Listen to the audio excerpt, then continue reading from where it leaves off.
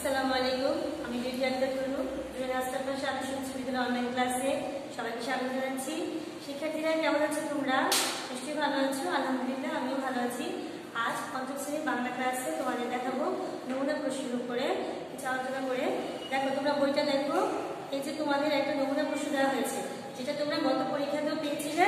আমরা তোমাদেরকে প্রথম বাড়ির কাজের মূল্যায়ন দিয়েছি। সেই বাড়ির কাজের মূল্যায়নের মাধ্যমে তোমরা অনেক কিছু শিখতে পেরেছ, আশা করি। আজ তোমাদের অর্ধবার্ষিক সম্পর্কে আলোচনা করে দেখো দেখো, তোমাদের বাংলা প্রথম পত্রে যে মডেল টেস্টগুলো দেওয়া হয়েছে সেটা তোমরা ব্যাকরণ বই থেকে করতে পারবে। মডেল টেস্ট ছয়, সাত, দশ, চোদ্দ, পনেরো। তোমরা প্রত্যেকটা মডেল টেস্টের এক, দুই, তিন, চার, ছয়, সাত, আট ও এগারো নোট করবে। যেমন দেখো, তোমাদের একটা মডেল কোশ্চেনে অনেকগুলো নাম আছে, প্রত্যেকটা নাম করতে হবে না তোমরা প্রত্যেকটা মডেল টেস্ট যতগুলো নাম দেওয়া আছে তোমাদের মডেল টেস্ট ছয়, সাত, দশ, চোদ্দ, পনেরো। প্রত্যেকটা মডেল টেস্টে প্রত্যেকটা নাম করতে হবে না, তোমরা শুধুমাত্র এগুলোর এক, দুই, তিন, চার, ছয়, সাত আট ও এগারো এই নম্বরগুলো বলব শুধুমাত্র ফার্স্ট পেপারের জন্য বাংলা প্রথম পত্রের জন্য শুধুমাত্র এই নিয়মগুলো পড়লেই চলবে।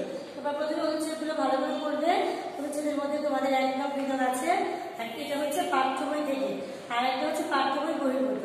ওখানে তোমাদের তিন নং, চার নং দেওয়া আছে। তবে দুই নং আর চার নামে একটা করে বাড়তি প্রশ্ন দেওয়া হবে, যেটা হবে কিনা যোগ্যতা ভিত্তিক। তোমরা সেটা নিজের মতো করে অনুচ্ছেদ থেকে খুঁজে উত্তরটা লিখে দেবে। তারপর দেখো, তোমাদের এটা হচ্ছে বাংলা প্রথম পত্রের অংশ।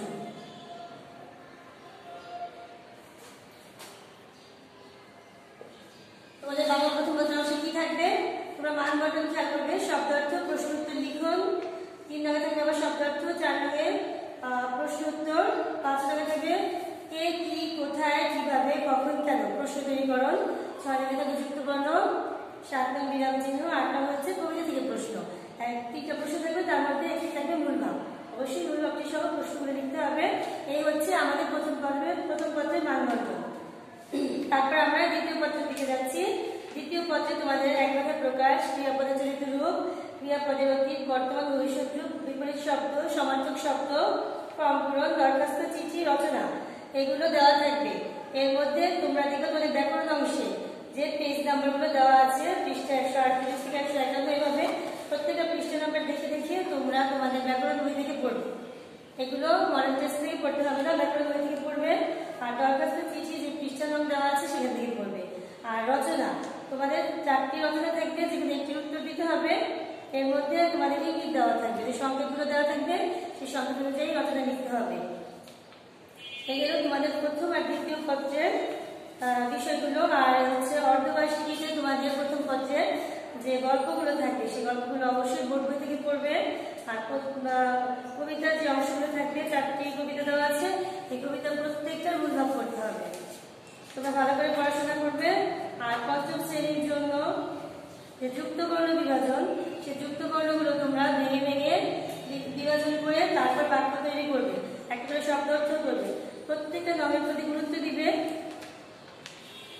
আর রচনা অংশ থেকে প্রতিটা রচনার যে সংকেত আছে, সেগুলো থেকে মিল রেখে পড়তে হবে। যে সংকেতগুলো আরবি শিখলে বাইরেও দেওয়া যাবে। কিন্তু যদি সংকেতগুলো সবগুলো সংকেতের উত্তর না দাও, সেখান থেকে আবার নম্বর কাটা যাবে। এখন তোমাদেরকে দেখাবো, তোমরা চিঠি লেখার ক্ষেত্রে যে ভুলগুলো করে থাকো।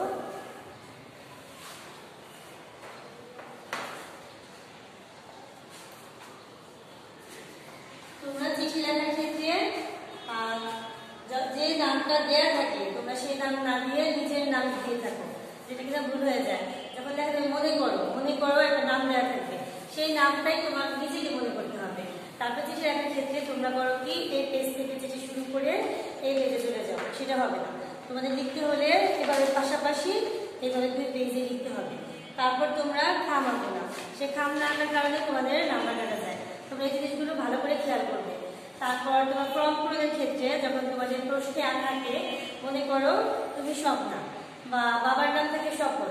এইভাবে নামগুলো দেওয়া থাকে। সেক্ষেত্রে তোমরা সেই নামগুলো ব্যবহার না করে নিজের নাম, নিজের বাবার নাম, নিজের মায়ের নাম ব্যবহার করে থাকো। সেগুলো তোমাদের ভুল হয়ে যায়। তোমরা অবশ্যই প্রশ্ন ভালো করে পড়ে তারপর উত্তর দেওয়ার চেষ্টা করবে, তাহলে ভুল হবে না।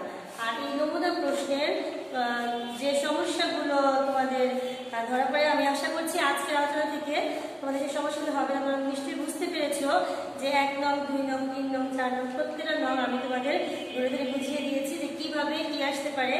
আর ব্যাকরণ অংশটা বাংলা দ্বিতীয় পত্র তোমরা পুরোপুরি ব্যাকরণ বই থেকেই পড়বে নাম্বার বের করে পড়বে। আগের মতো মডেল টেস্টগুলো সবগুলো করতে হবে না, বেছে বেছে যে নংগুলো দেওয়া হয়েছে, সেই নংগুলো পড়লে সেই আলোচনা থেকে তোমরা বুঝতে পারবে। যে কীভাবে প্রশ্নপত্র হতে পারে। তা আমরা পরবর্তী বাড়ির কাজে তোমাদের বাড়িতে দিব। তোমরা এই নমুনা প্রশ্নের প্রতিটা অধ্যায় করে শেষ করবে। আজ এই পর্যন্তই। সবাই ভালো থাকো, সুস্থ থাকো।